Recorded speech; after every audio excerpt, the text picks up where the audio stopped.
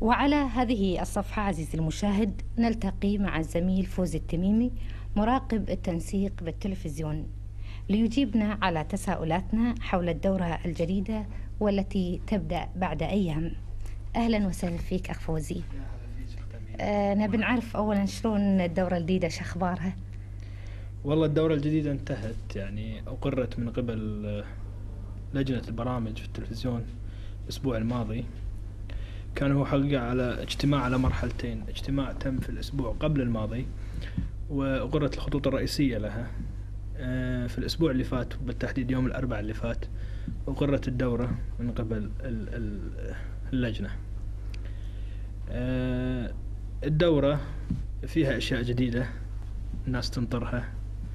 فيها أشياء آه، تعودوا يشوفونها في الدورة اللي فاتت راح تستمر لنجاحها. وفيها أشياء محلية آه، أكثر من الأشياء اللي كانت موجودة إذا تحبين إيه. نستعرضها مع بعض أولا في كم سؤال تذكر إحنا من خلال لقاء لنا في المجلة فوزي أه تكلمنا عن مسلسل العربي اليومي إيه. فهل هذا راح يرجع في الدورة الجديدة؟ آه، الحقيقة لا ما راح يرجع المسلسل العربي اليومي راح يظل أسبوعي في هذه الدورة وأعتقد أن المسلسل العربي نجح من خلال فكرة أنه راح يكون أسبوعي. آه، ترك لنا إحنا كمسؤولين في التلفزيون مجال الاختيار الأفضل.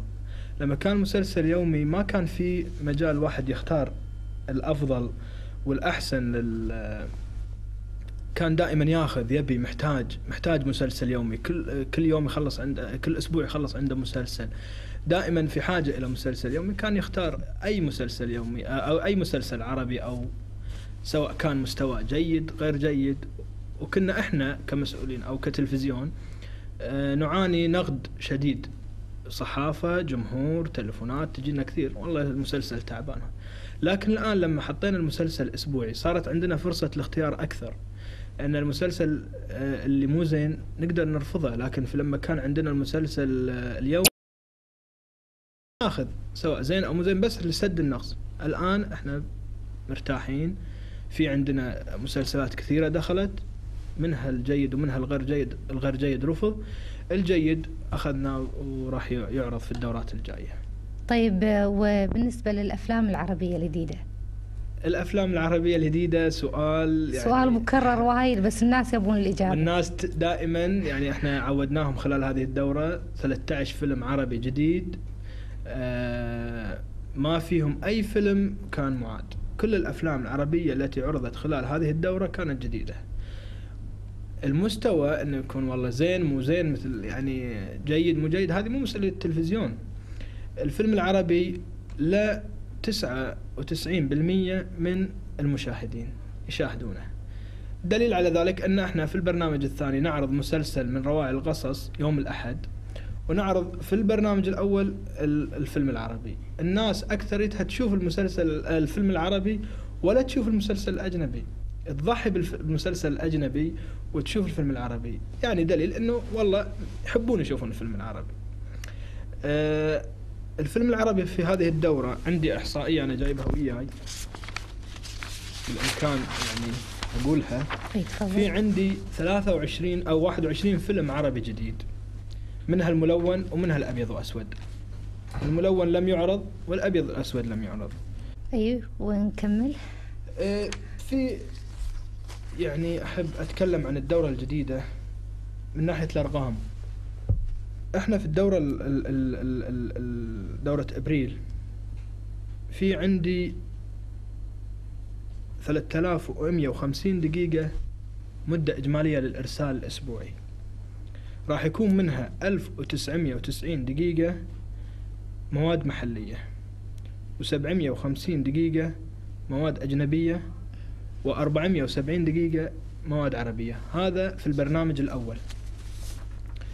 في البرنامج الثاني. عندي 1680 دقيقة. مجمل الإرسال. منها 28 آه، ساعة. آه، 210 دقيقة. آه، برامج محلية. و1350 برامج أجنبية. و120 برامج عربية. النسب المئوية في البرنامج الأول البرامج المحلية 63 دقيقة آه 63 بال- آه، بالمية برامج محلية. 21 بالمية برامج أجنبية. 14 بالمية برامج أج... آه عربية.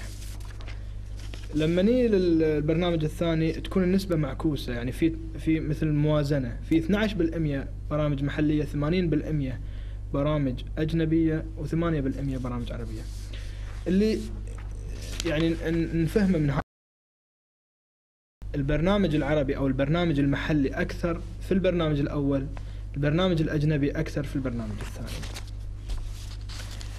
آه، بالنسبة لسهرات البرنامج الأول راح يكون يوم السبت مثل ما هو المسلسل الأجنبي سنتينيال لأن هذا مستمر 26 حلقة.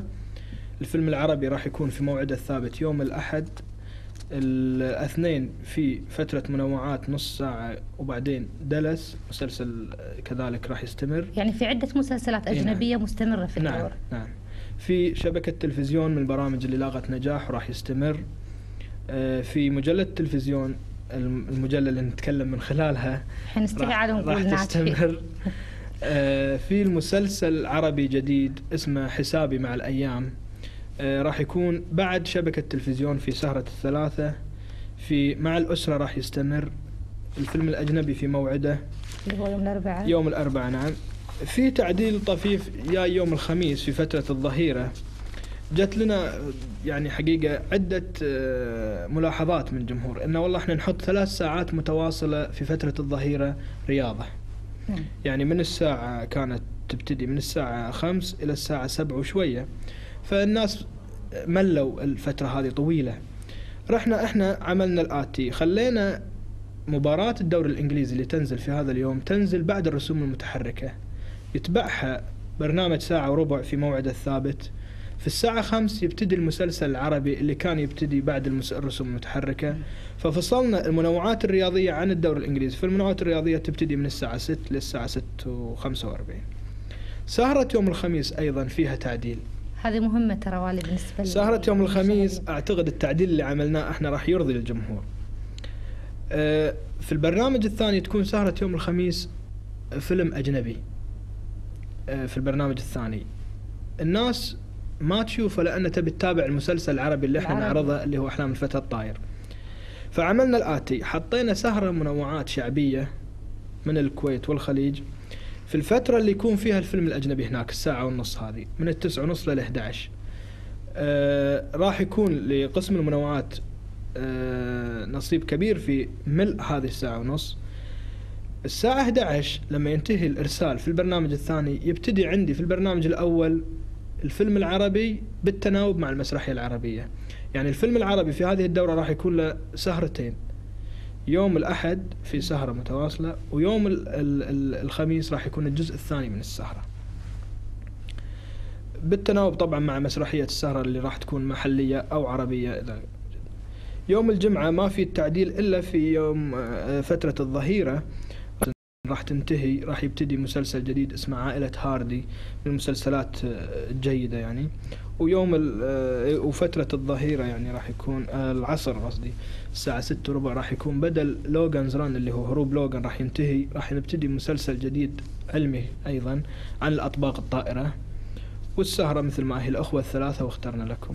أخ فوزي بالنسبة للبرنامج الثاني نعم. آه، دورتها مستمرة مثل ما هو ولا راح تكون له دورة والله أخت؟ أمينة ال- البرنامج الثاني عفوا أنا نسيت أتكلم عنه هو تكلمنا عن ناحية الإحصائية وهذا البرنامج الثاني آه، في استمرارية لبعض المواد فيه هو البرنامج الثاني طبعا آه، لا ننسى أن إحنا تونا مخلصين دورة واحدة منه اللي هي دورة يناير آه، ما آه، مارس لنهاية مارس لأن الشهر اللي بالبداية فيه اللي هو ديسمبر يعتبر فترة تجربة لنا إحنا ومعرفة ذوق الناس. لما شفنا في متابعة له استمرينا في نفس الخط اللي هي زيادة المواد العلمية والثقافية والأجنبية في هذا البرنامج.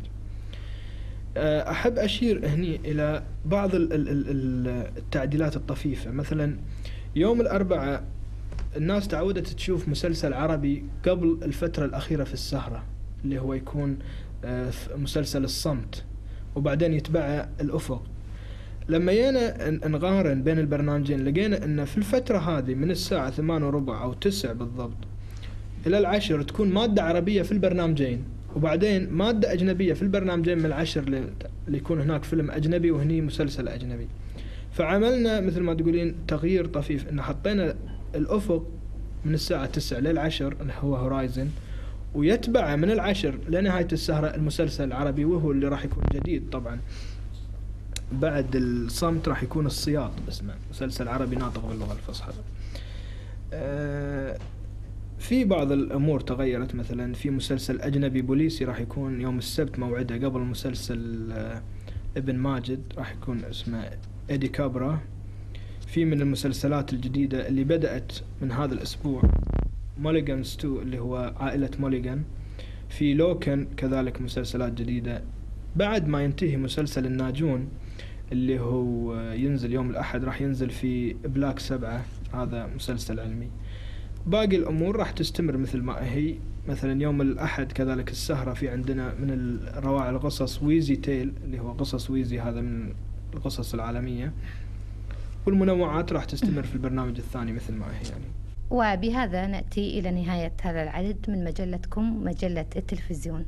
شكرا لكم وإلى اللقاء.